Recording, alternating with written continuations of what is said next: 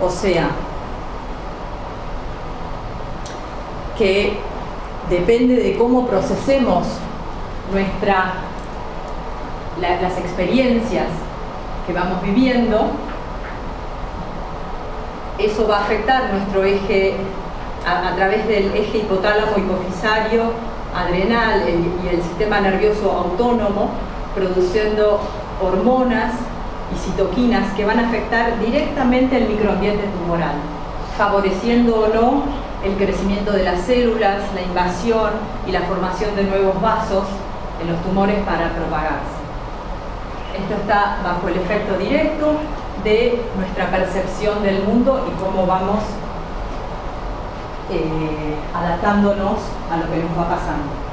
Y ahí es como dice Diana, donde obviamente la psicología y todas estas técnicas complementarias tienen mucho que aportar. O sea que empezamos a ver que el, cáncer no es un problema de un grupo de células o de un órgano, sino es que es una enfermedad realmente sistémica. Vuelvo a repetir, pero por ahí diciéndolo de diferentes formas, nuestro cerebro como un eh, analizador adaptativo súper complejo va eh, procesando las experiencias que vamos viviendo y va traduciendo eso internamente por el sistema neuroendocrino endocrino, afectando el microambiente de cada parte del, cuerpo y afectando así lo que le pasa eh, a cada órgano. O sea, que el, el cáncer lo vemos más como un fenómeno emergente de una multiplicidad de factores entre genéticos, porque puede haber una predisposición, conductuales que determinan estos hábitos, que determinan la epigenética, eh, bueno, ambientales, sociales, psicológicos, que ese entretejido es lo que va determinando si se desarrolla un cáncer o no. Tanto es así que el Instituto Nacional del Cáncer recientemente creó esta red de integración de la biología con las neurociencias, la psicología las ciencias sociales y la oncología para entender bien la relación entre lo que es la conducta y el cáncer.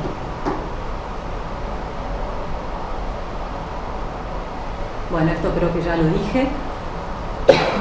Entonces, justamente esto nos lleva a sacar un poco el foco en ese cáncer y el enemigo que nos ataca y, tratar de erradicar a, ese enemigo y empezar a ver qué hacemos desde el huésped.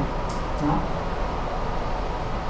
nos gusta usar la metáfora de la, me gusta usar la metáfora de la huerta.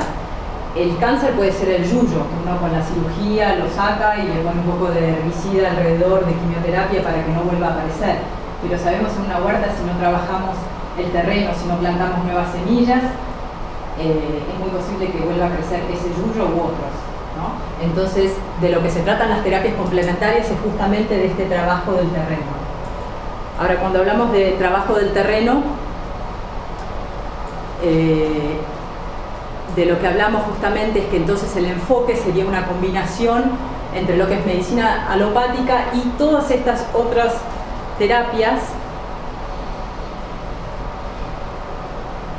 que entran, o sea, esto sería lo convencional, la quimioterapia, la cirugía, la radiación, que afecta más al aspecto físico, pero todo lo que es Em, terapias que afectan más al terreno, ya sea eh, desde lo psicológico y psiquiátrico o desde eh, tratar de volver a un equilibrio a ese eje hipotálamo hipofisario adrenal y ese sistema autónomo neurovegetativo, ese desbalance entre el simpático y parasimpático se familiarizan con eso, el simpático que es el que nos lleva a esa reacción de lucha, huida, y el parasimpático el que nos lleva a relajarnos. Bueno, muchas de las técnicas complementarias, la reflexología, el masaje, la acupuntura, justamente lo que hacen es afectar a ese parasimpático para eh, disminuir ese desequilibrio entre el simpático y parasimpático y volver a un equilibrio interno.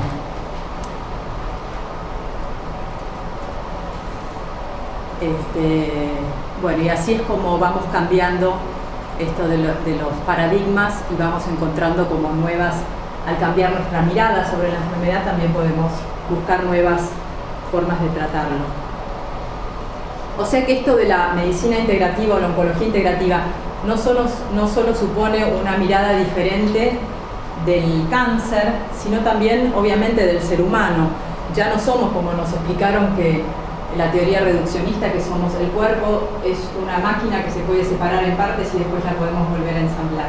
Ya sabemos que no somos así, que somos un cuerpo, mente, psiquis, espíritu, juntos, interrelacionados más como un sistema complejo y que tiene su propia capacidad innata para buscar ese equilibrio. Y esto del sistema complejo, ¿no? Me, me gusta pensar en esto del sistema complejo donde donde es un sistema donde hay muchos niveles de, especialización y cada nivel se puede autorregular. Si lo pensamos en nuestro organismo, la célula es un, nivel busca su propia autorregulación. Cuando forma un tejido, su propia autorregulación. Forma un sistema, un órgano, un sistema y así niveles de complejidad hasta ser humano y hasta un núcleo social. Y cada, el, el desequilibrio de uno, de cualquiera de esos niveles va a afectar a otros niveles. Entonces, mirarlo más como un sistema complejo donde no es lineal, que tengo un cáncer y se lo saco y, causa efecto y erradico el problema. Esto es un sistema complejo y pequeños cambios pueden causar grandes diferencias en ese sistema complejo. Es más como un acompañamiento de ese sistema complejo a que vaya buscando su equilibrio. Y, bueno, después esta imagen de, que brinda Erwin Laszlo, que es un científico de la Sorbonne, que siempre me encantó porque nos habla de cuán dinámico es esto. Nosotros pensamos que somos así, o esto es, lo que, esto es lo que somos, o esto es lo que pensamos, pero no hay nada en nuestro cuerpo que sea estático, no hay nada que sea, ni siquiera las neuronas ni las células cardíacas son estables.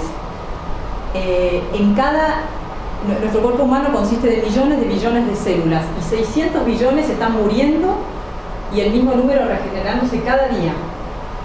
En cada 90 segundos millones de anticuerpos. Desde que empezó esta charla ya sintetizamos 200 millones de glóbulos rojos cada uno. O sea, estamos todo el tiempo en forma muy dinámica rehaciendo nuestro sistema.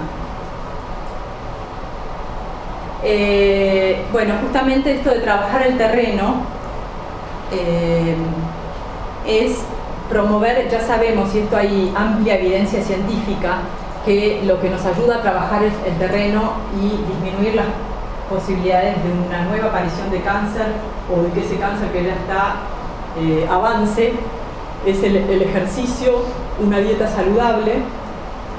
Estoy en esta parte verde, ¿no?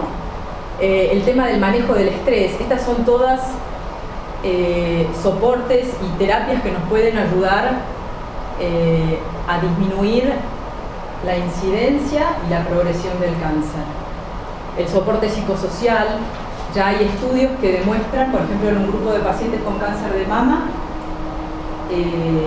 aleatoriamente las randomizaron a que recibieran el tratamiento normal, que era cirugía, radioterapia, quimioterapia, y las randomizaron a que un grupo la siguieran durante un año con todo un enfoque integrativo, enseñándoles a comer mejor, a hacer ejercicio, con apoyo psicológico y técnicas antiestrés. El grupo este, luego de un año, la siguieron durante 11 años, tuvieron mejores índices de calidad de vida y de sobrevida que las que solamente recibieron el tratamiento este, convencional. Y esto que decía que estas terapias complementarias, muchas de ellas lo que hacen es eh, inducir justamente ese sistema parasimpático. Yo a los pacientes les explico, tenemos un acelerador y un freno. Estamos todo el tiempo apretando el acelerador y no nos tomamos el tiempo suficiente durante el día para compensar con el freno y poder hacer equilibrar todo lo que nos pasó en ese día. Lo ideal sería que cada día nos tomáramos, aunque sea 15 a 20 minutos, para ejercitar ese freno y poder contrarrestar ese acelerador que estamos apretando todo el tiempo. Ese acelerador normalmente tendría que estar ahí para las emergencias. Si estamos cruzando la calle y nos tocan una bocina, estamos distraídos, bueno, para hacernos reaccionar. Pero lo estamos apretando todo el tiempo, ya sea por estresores externos o internos. Culpa, pensamientos recurrentes, bueno, todo esto que ustedes ya conocen bien. Entonces lo que hacen las terapias complementarias es eh, ayudarnos a recordar cómo es esto de el freno y poder este, nivelar nuevamente internamente ese sistema.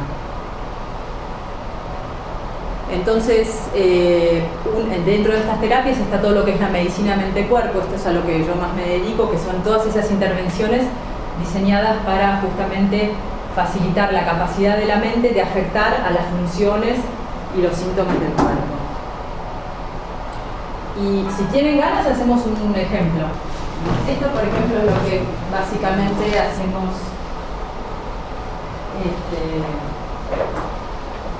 una de, las prácticas que les enseñamos, por ejemplo, a los pacientes en Fundaleu, pacientes que están internados dos, tres, cuatro semanas en quimioterapia en un cuarto reducido, o sea, eh, en condiciones totalmente difíciles, ¿no? desafiantes. Y bueno, para que tengan un espacio durante el día para poder conectarse con su parte saludable y poder activar ese parasimpático y lograr un, este, equilibrio interno. ¿Alguno de ustedes ya medita o hace yoga o algo de eso? ¿Algunos? Ah, buenísimo. Bueno, porque es barbosa la meditación. Yo hago reflexología. Ah, buenísimo. buenísimo. Bueno, yo pongo un poquito de música, no sé si la van a escuchar mucho a mí me ayuda a relajar. Como esto es, este, somos todos un sistema también, si yo me relajo también ayuda a que las otras partes podamos relajarnos. Bueno, entonces los invito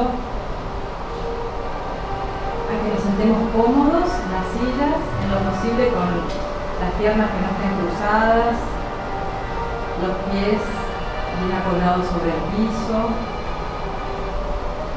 para aquellos que se sientan cómodos pueden cerrar los ojos, porque eso ayuda a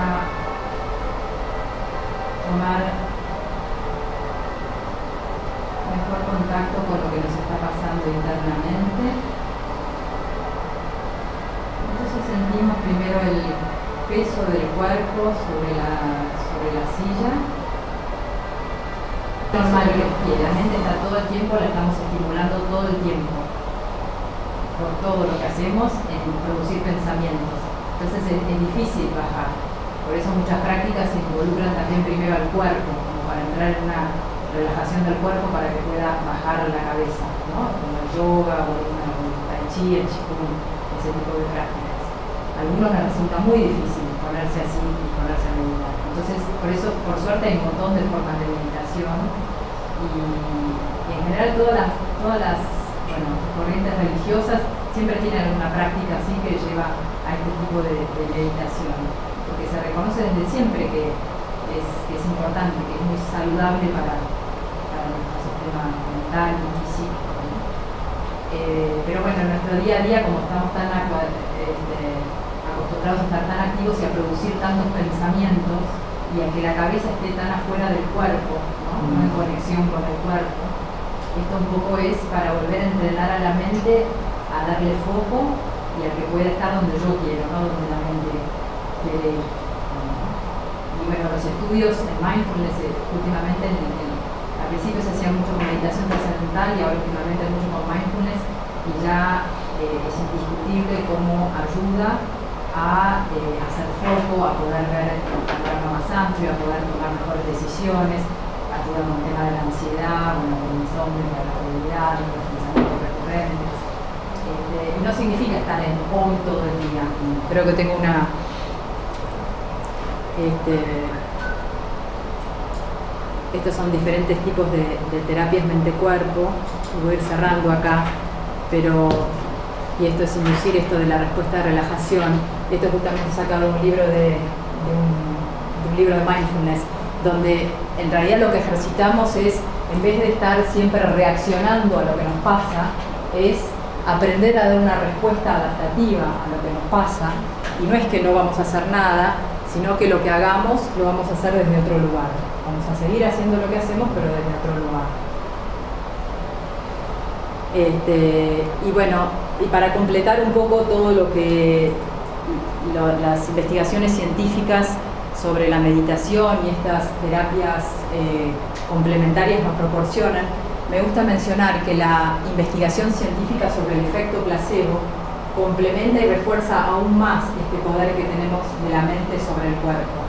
Ya sabemos que el efecto placebo eh, nos indica que lo que el paciente cree, lo que el paciente piensa, lo que el paciente siente, tiene efectos poderosos sobre su cuerpo. Eh, es lo que el doctor Volker Thiel, que es una eminencia en, Alemania, es oncólogo, pero últimamente se dedica a todo esto de una mirada integrativa, él llama el médico interno. Y sabemos ahora por los estudios eh, científicos que es un fenómeno psicobiológico per se, no es que nos parece nada más.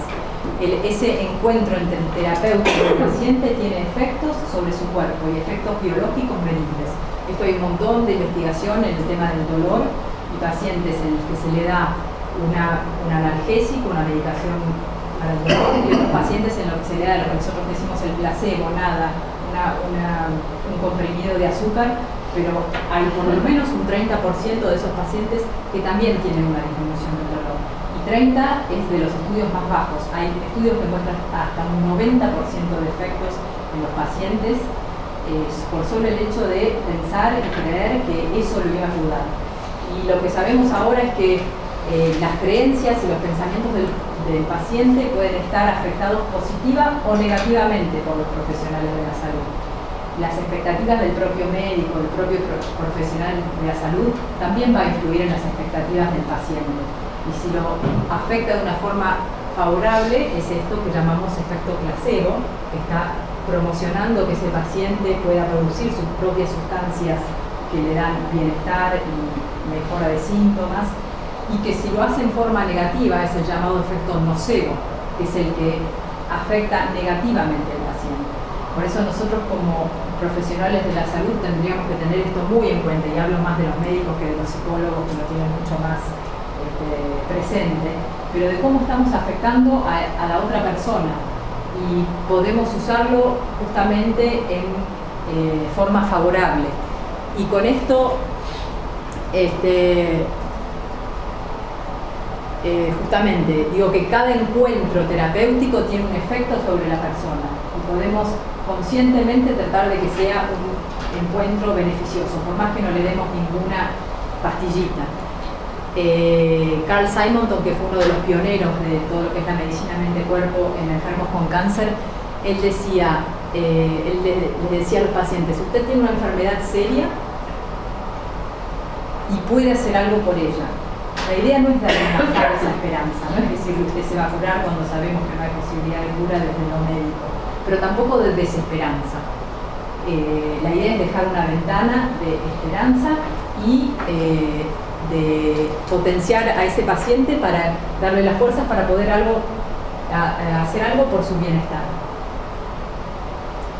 Este, bueno, entonces esto para mí el enfoque de profesional de la salud paciente, eh, yo sigo un poco esta línea de, pensar que es un encuentro de persona a persona, ¿no?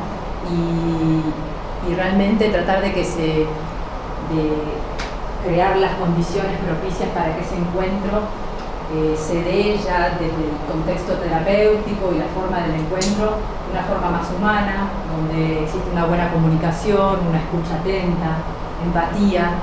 Y lo que yo valoro bastante es, esto de un genuino interés por el paciente. Creo que mucho desde la medicina ya se perdió eso y creo que eso hace una diferencia. Voy a dejar acá porque creo que ya es la hora. Así que les agradezco por su